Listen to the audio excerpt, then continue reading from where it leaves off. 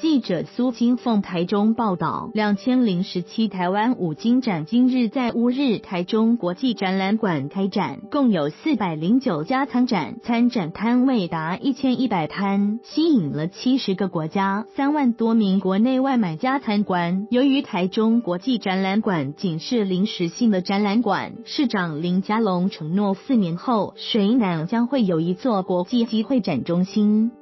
为了符合手工具业者需求，台中市政府为请厂商在乌日高铁站附近新建一座大型的台中国际展览馆，有一千一百个摊位，为临时的展览馆。今年由台湾手工具工业同业工会主办的两千零十七台湾五金展，今日在台中国际展览馆正式开幕，共有四百零九家厂商参与，预计吸引七十个国家三万名海内外买家参观。市长林佳龙表示，市府协助台湾手工具工业同业工会举办此次展览，取得展览场的用地也及时新建完工，让活动顺利举办。虽然会展中心增大，但还是有许多厂商无法参展。林佳龙表示，因此市府将在水南新建国际会展中心，总预算一百亿元，由市府出资五十八亿元，中央补助四十二亿元，分为东西侧展览馆，总摊位达五千位，其中西侧展馆将提供工具机使用，作为产业资讯与国际交流的重要推广平台，预计一百一十年完工，一百一十一年启用。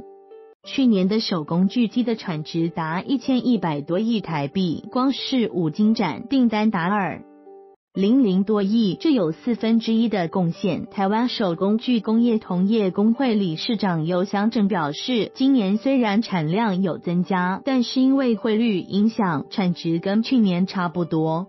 尤祥镇表示，今年参展厂商成长四百零九家，比去年增加，但是仍有三十多家无法进入展览。展览场的摊位需要增加百分之三十才够。厂商都希望市府在沈阳的国际会展中心尽快完工。工会表示，台湾五金展将于十一日至十三日在台中国际展览馆展出，共有工具及配件、锁类、紧固件系扣件类等八个专区。